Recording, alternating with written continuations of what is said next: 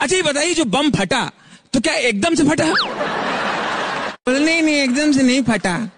एकदम से नहीं फटा। बम पहले हमारे बाजू में आए। फिर मुझे देख के थोड़ा सा शर्माए। फिर लुढ़कते लुढ़क मेरे नज़दीक आए। फिर नज़दीक आके बोले, मैं बम हूँ। आप बुरा ना माने तो फट लू। मैंने कहा, जब आ गए हो तो फट लो।